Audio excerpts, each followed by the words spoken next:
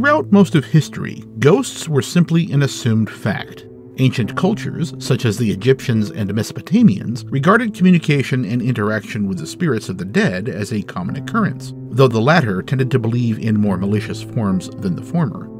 The Canaanites believed ghosts could be prayed to for intercessions and favors, while the Greeks during the time of the poet Hesiod believed heroic people walked the earth as good spirits, and those who suffered a violent death spent their afterlife sowing discord. In the Gospel of Matthew, the disciples of Jesus mistook him for a spirit, which was somewhat understandable since the Son of God was in the process of traversing the sea on foot. In the first book of Samuel, a king named Saul speaks with the ghost of the prophet Samuel, who seems less than pleased with the whole affair. A post Enlightenment time traveler would probably be met with complete bemusement at his declaration to the temporal natives that ghosts aren't real. Of course, such a declaration would have more going for it than against, regardless of the prevailing opinion. Philosophically, our hypothetical chrononaut could argue ghosts aren't real from a simple materialistic standpoint. Death is a one way trip to oblivion, the biological equivalent of tripping a circuit breaker on a countertop toaster. Once the power is out, the appliance becomes nothing more than an inert block of metal and plastic, doomed to break down into nothingness over the lifetime of the universe. Optimists need not apply.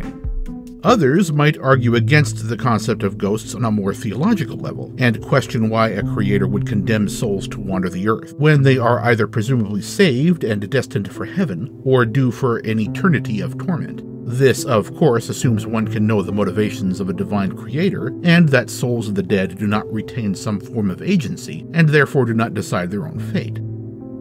Of the paranormal subjects caught on film, ghosts have the honor of being the first, some of the earliest such photos being taken by Boston engraver and photographic innovator William Mumler in the mid 19th century. Mumler had stumbled into the field of ghost photography purely by accident. A self portrait contained an apparition of a long deceased cousin, though this was almost certainly a double exposure of an existing image. Eventually, he created a cottage industry catering to the bereaved. In April of 1896, Mumler was tried for fraud and larceny, testimony against him partially provided by famed showman Phineas Taylor Barnum, who claimed Mumler had burgled his victims' homes in order to steal photos of dead relatives to aid in his deceptions. Though Mumler was acquitted due to insufficient evidence, his reputation was damaged beyond repair.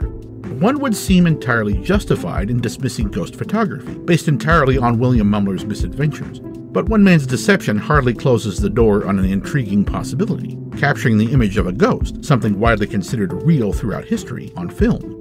We should be careful not to throw the proverbial baby out with the bogus bathwater.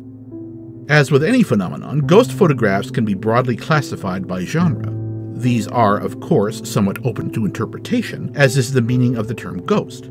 These genres include amorphous shapes, unexplained densities, such as a streak or orb of light across an exposure, unexplained fogs, defined images, usually of a human face or form, and unexplained shadows.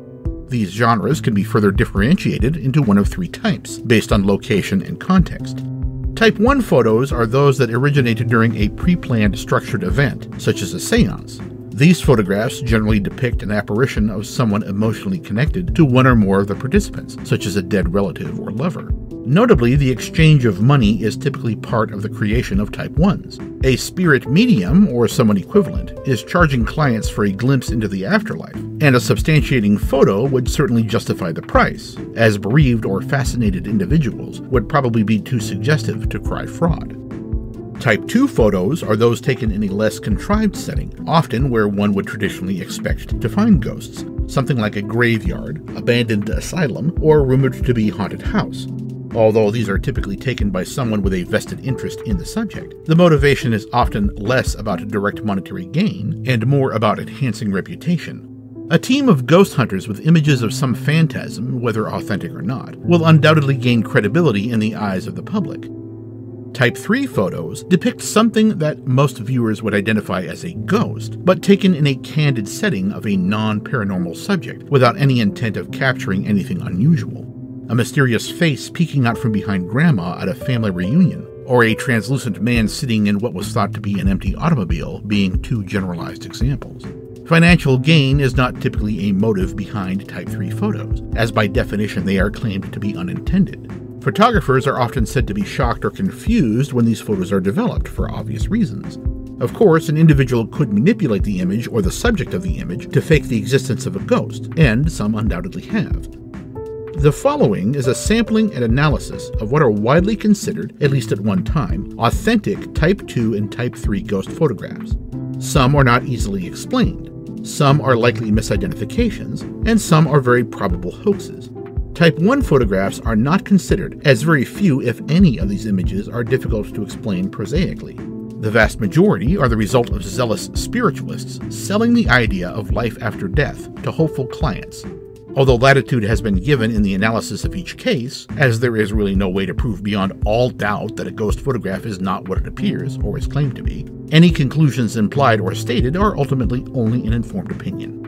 Explanations based on completely non physical means, such as the photographer's strong emotions psychically imprinting a ghostly form onto a photo, are also avoided. One cannot say with absolute certainty something to this effect isn't going on, but unless we limit our open minded inquiry to conventional earthly theories, we risk having our minds spill completely out of our heads.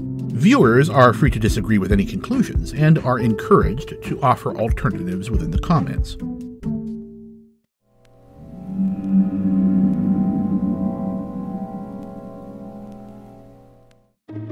Although by no means the earliest ghost photograph, the so called Brown Lady photograph taken in Raynham Hall is probably the most well known to the general public and probably one of the most analyzed during the 20th century.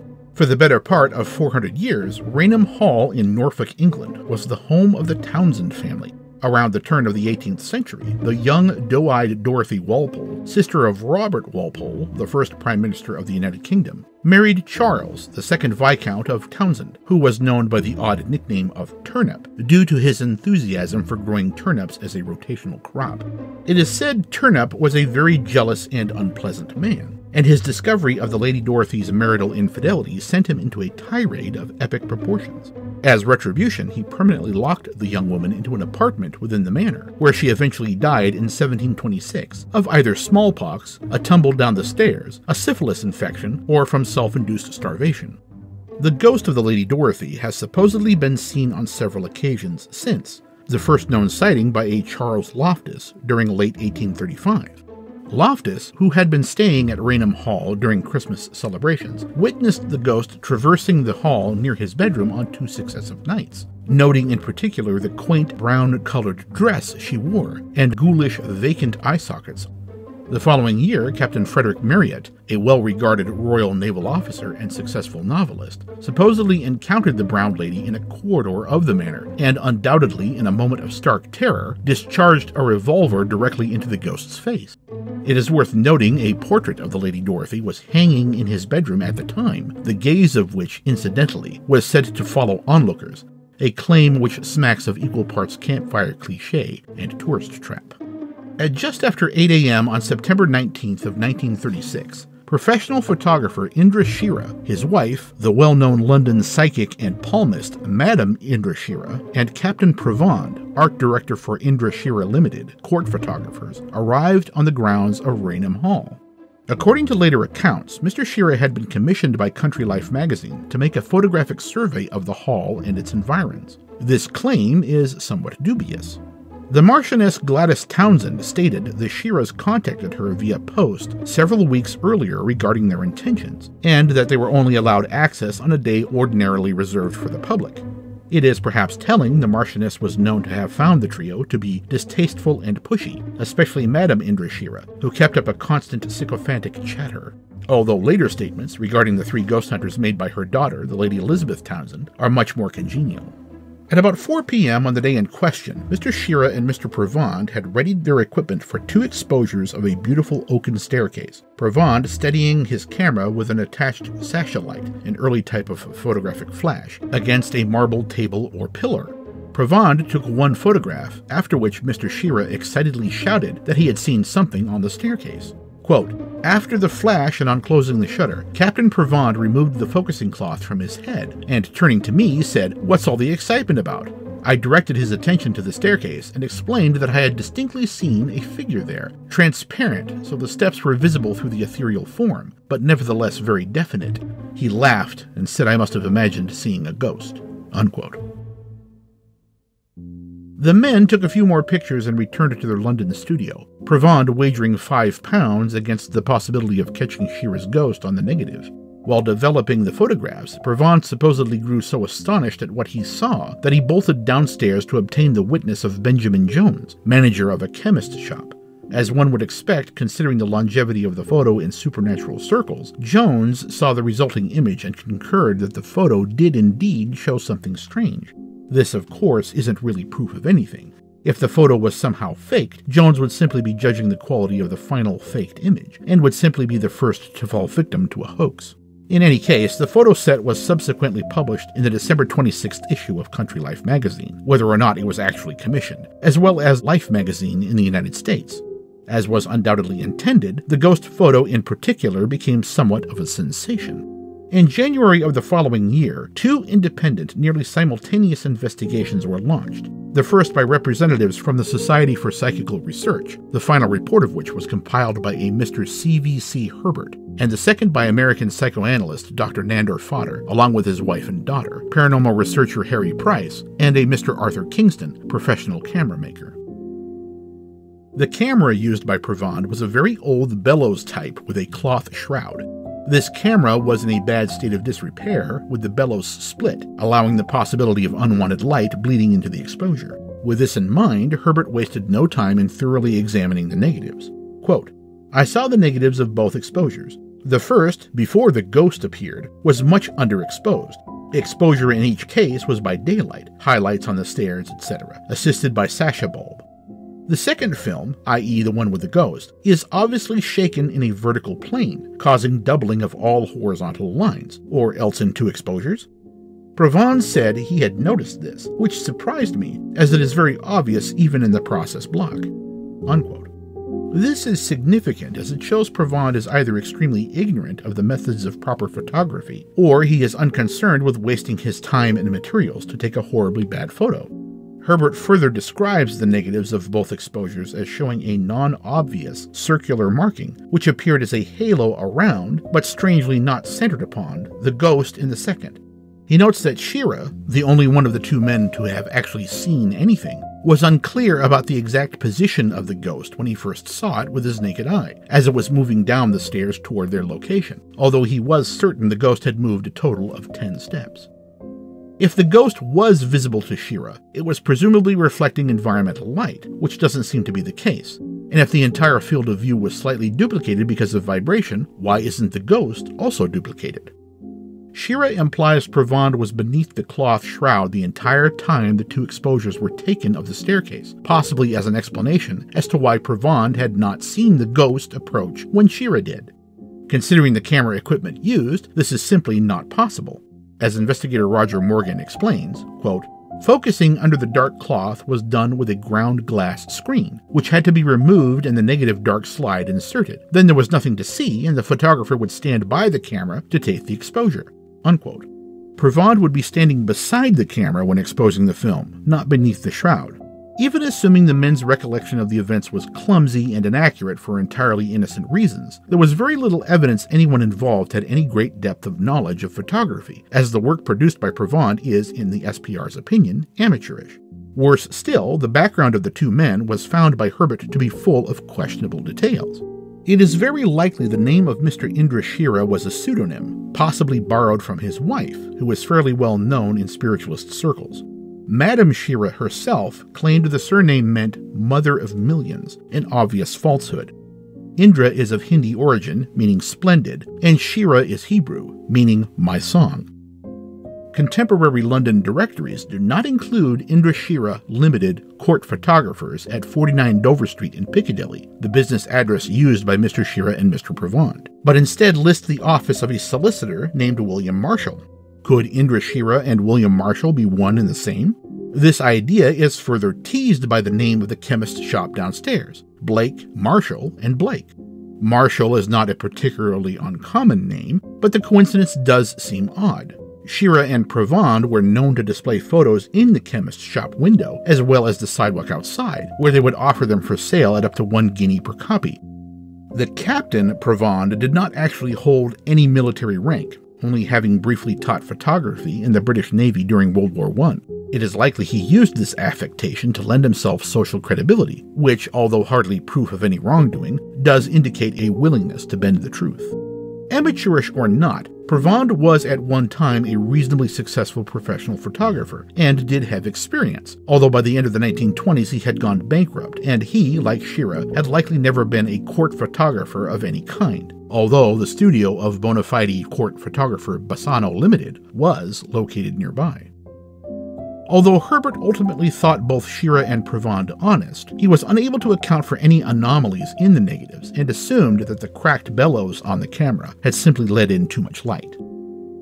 By Dr. Fodor's account, there was little difficulty in replicating the circumstances and lighting of the photo, but there was no success in duplicating the ghost, thinking that some trick of reflection might have caused a humanoid shape to appear to both an observer's eye and a waiting camera lens. A photograph was taken of Dr. Fodor as he stood on the 13th step, and a second was taken of his wife doing the same, afterwards comparing the result to the image on Provand's negative. Fodor determined, quote, the size of the latter is about right for a shorter female figure, unquote. This is interesting when one considers the fact that Madame Shira was also present during the 1936 session, yet her whereabouts are strangely glossed over in Shira and Provand's recollection.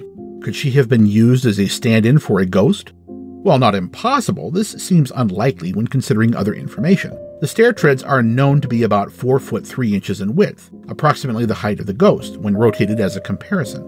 This is not an unheard of height for women now nor in 1936, but it is unusually short.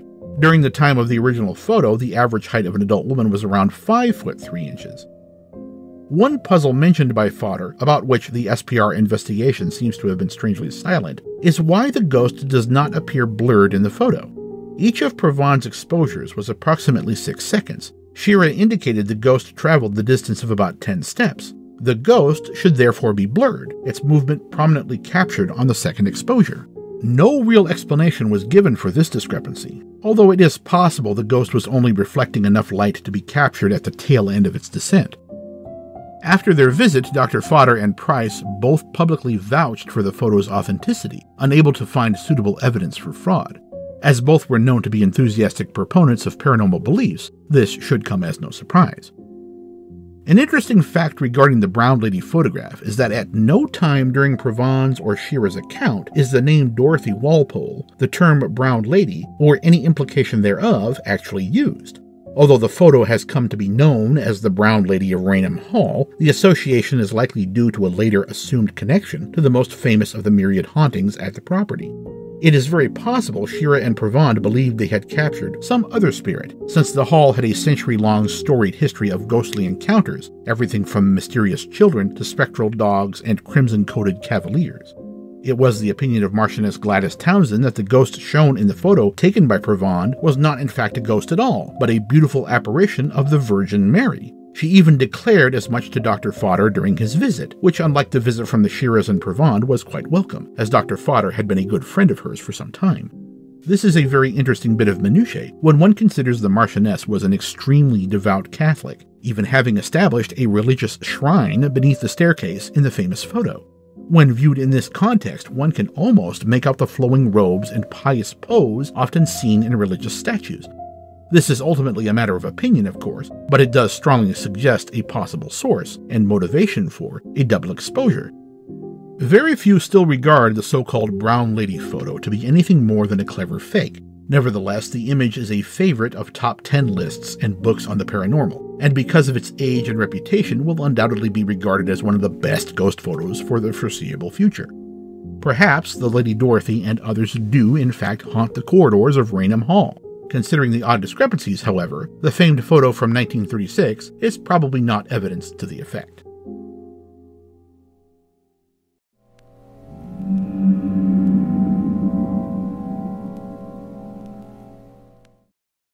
Wellington Henry Stapleton Cotton, second Viscount of Combermere, generally referred to as Lord Combermere, died on December 1, 1891, at the ripe age of 73 from an arterial embolism.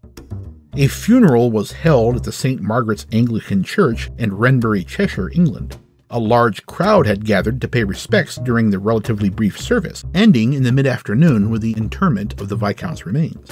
Two miles away, a woman by the name of Sybil Corbett prepared to take a photograph of the impressive but dimly lit library at Combermere Abbey, said to be one of the late Viscount's favorite rooms.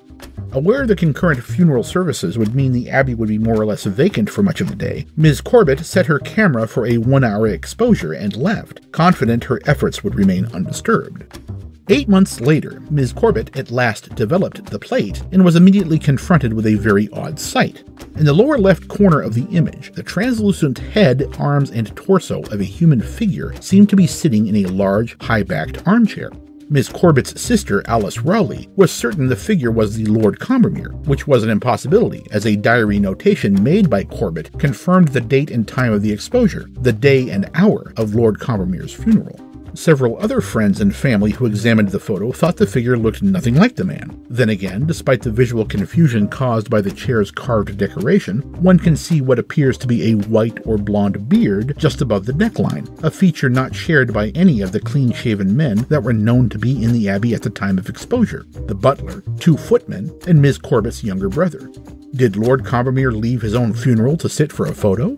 Many reproductions and articles hold the Combermere photo in high regard, generally touting it as one of the best, most inexplicable ghost photos ever taken.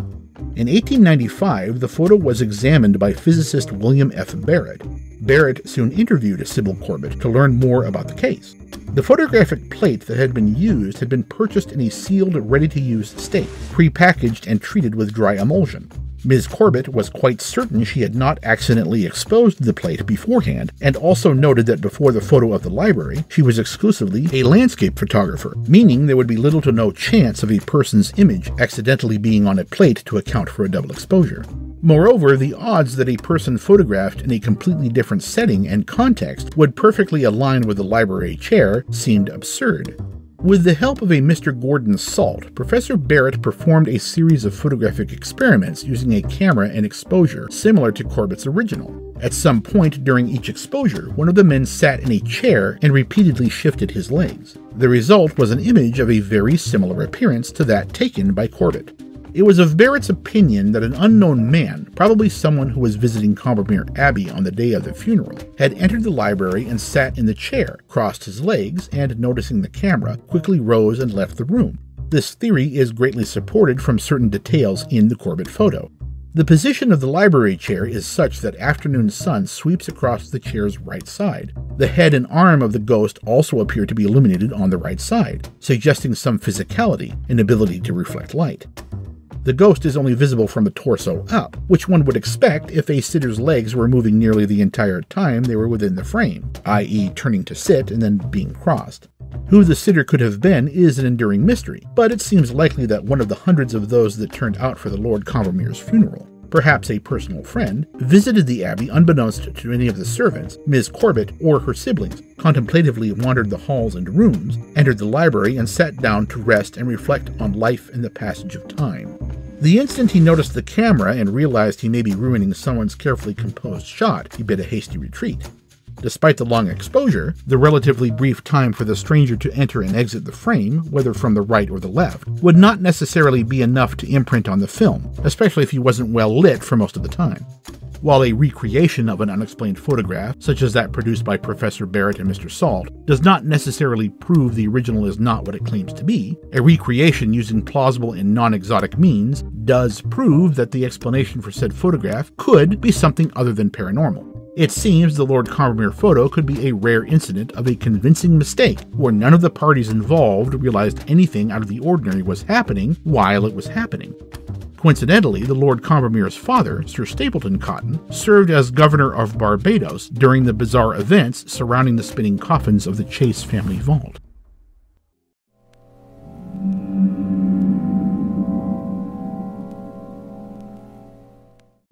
In 1975, RAF Air Marshal Sir Robert Victor Goddard published a book entitled Flight Towards Reality, in which he describes in detail what is now widely claimed to be a photograph containing the partially obscured, ghostly face of a deceased air mechanic named Freddie Jackson. Note this is only a written description. No photographic plate accompanies this text. Quote, There he was, and no mistake, although a little fainter than the rest. Indeed, he looked as though he was not altogether there, not really with the group, for he alone was capless, smiling. All the rest were serious and set and wearing service caps. Most had not long returned from church parade and marching in a military funeral, for Freddie Jackson had, upon that very spot, the squadron tarmac, three days before, walked heedlessly into the whirling propeller of an airplane. He had been killed stone dead instantly. He, evidently, was still quite unaware of it. Unquote. The squadron, which, owing to the bureaucratic chaos of post World War I England, was a hodgepodge of service branches and due to be disbanded back to civilian life. The group had just participated in a funeral, presumably that of Mr. Jackson, and were posing for a photograph to commemorate their time together. Although the photograph was intended for purely posterity's sake, posing for it was mandatory, hence, each of the men and women are in uniform and cap. A representative from the Bassano Portrait Studio took the photograph and left immediately after. After development, the studio sent copies, which could be purchased by anyone, and negatives to the Cranwell base commander, Air Commodore Charles Longcroft. Supposedly, a copy was hung in the maintenance crew mess, after which the face of Freddie Jackson was discovered. Alerted to the possibility of a sick joke perpetrated on his men, Longcroft appointed two photographic analysts to independently examine the image. Neither found any evidence of tampering, either on the final print or on the associated negatives. Three quarters of a century later, in 1996, a 97 year old widow named Bobby Capel, who had spent 18 months as a driver for the Wrens, the Women's Royal Naval Service, and who was in fact a friend of the aforementioned Victor Goddard, as well as one of the people in the photograph, shared a personal copy of the photo with Navy News, a British periodical. From there, the photo propagated throughout British and eventually worldwide media. Quote, I have no doubt the face peeping out from the back is Jackson I can recall the general astonishment when the picture was pinned up. Unquote.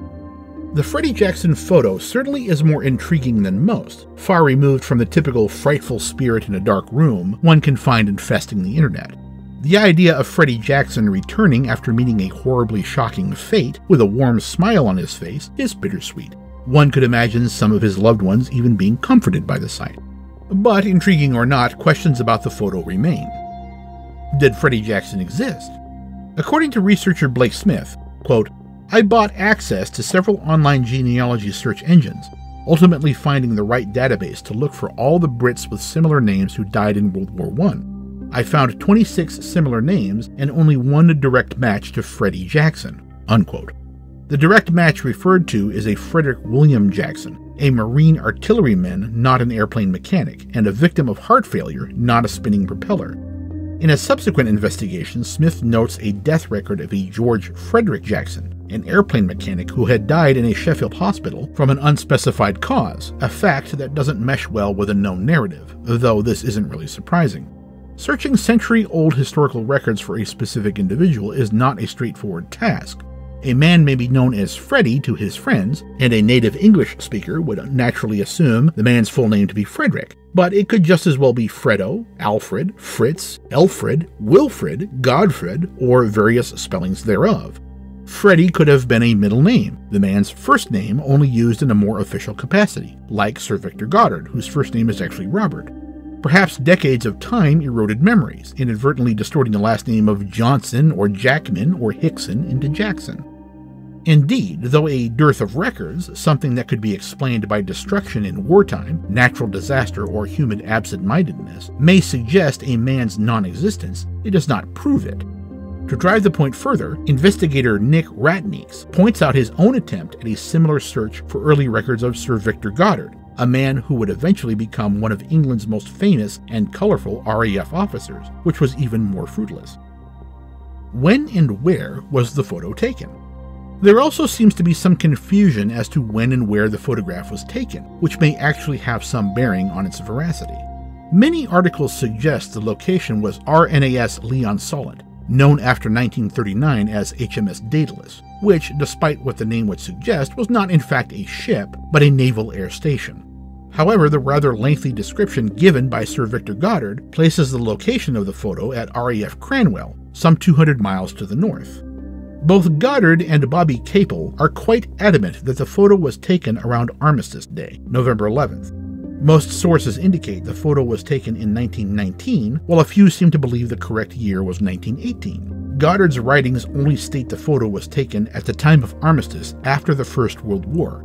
This could be interpreted as the actual armistice, the 11th of November 1918, or the anniversary of the armistice during the following year.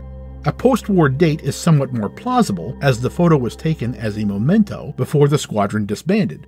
A period of time after the war's conclusion would be needed to wind down the military buildup that had occurred for the previous four to five years, and Armistice Day would be fittingly symbolic. Could the photo be a fraud? There is no way to really prove someone did not tamper with the photo before or after its delivery to the personnel at Cranwell. This possibility exists even if every other aspect of the story preceding the photo is accurate. It is exceedingly unlikely any tampering was performed by Bassano Studio. Even in that early era, the studio had a nationally recognized reputation. Its founder, Alexander Bassano, a highly regarded photographer for British high society and the royal family. Many of the studio's images are currently held in the National Portrait Gallery in London. Blake Smith suggests the possibility that the image of Freddie Jackson was the result of a crude copy and paste of the airman standing directly to the left, how similar the two faces are is purely a matter of opinion, and as Mr. Smith himself admits, the amount of contrast manipulation required to blend the two together renders the idea toothless. A fraud perpetrated at a much later time is also very unlikely. Sir Goddard described the photo in great detail, though not until 1975. It is possible the description was nothing more than a flight of fantasy that some intrepid hoaxer acted upon. However, multiple copies of the anomalous photo had already been produced, at least one of which landed in the hands of Bobby Capel, who was clear in her recollection of the photo after it was first pinned up, which was no later than 1919. At the time, she claimed to have immediately recognized the strange image as that of Jackson. Recall also that Capel is the original source for the photo to reach mass media. Unless we are willing to accuse Miss Capel of being the perpetrator of a fraud herself, there is simply no reason to consider any trickery by any party involved. It has been suggested that an unusual photographic error was responsible for the unexplained face. A man standing behind the top row may have inadvertently moved into shadow during exposure, perhaps dropping his cap in the process. Perhaps someone in the frame moved their head and created a ghosted image while the shutter was open. There are two main problems with any theory that tries to explain the photo as an unintentional error. The anomalous image is completely localized. No bleed or blur can be seen in any other area, in fact, other than being slightly less distinct than the man next to him, the obscured face of Freddie Jackson is itself free of blur, suggesting it, like everyone else in the photo, was not in motion during exposure. If the face belongs to someone other than Freddie Jackson and is of a squadron member out of uniform, why was he either A. recognized as Freddie Jackson by the other participants, or B. not immediately forthcoming as being the source of all the consternation? If there really was a Freddie Jackson, and if all parties are to be believed, we seem to have a genuine mystery on our hands. No one can say the original image wasn't doctored, but such would seem to be a rather pointless prank. Even the darkest sense of humor would probably not make light of a young man being obliterated in the midst of blood and gore. Perhaps a man who resembled Freddie Jackson showed up late for the photo and forgot his hat. Or perhaps Freddie Jackson showed up for one last photo with his comrades before continuing on his great adventure we will likely never know.